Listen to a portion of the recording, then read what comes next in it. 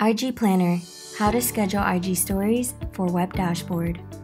Learn how to schedule Instagram stories in Planoly.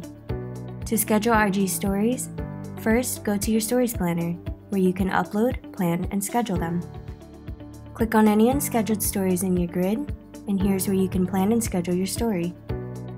Here's where you can choose any day and time to publish your story, or choose a quick schedule time. Once you have a date and time selected, go ahead and type in your caption.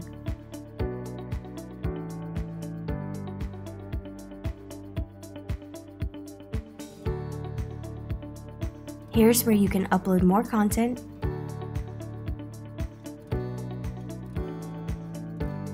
add a filter,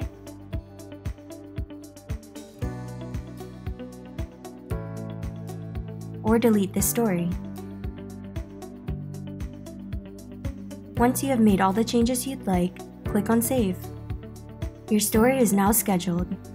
A blue S icon will appear indicating that your post is set to be manually posted via Planoly's push notification. Please note that Instagram currently does not allow stories to be auto-posted to Instagram.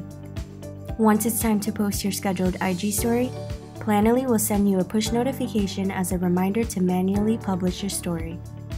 Simply click on the notification and you'll be directed to the Instagram app. We automatically save your content to your album and your caption to your clipboard. Just select the content from your album and double tap to paste your caption. And you'll be able to add additional IG features like user tag, location tag, GIFs, and more.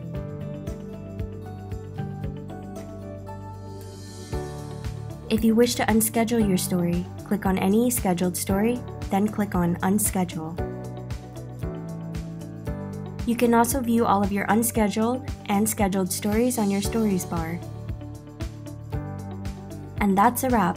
You now know how to schedule IG stories on Planoly's web dashboard.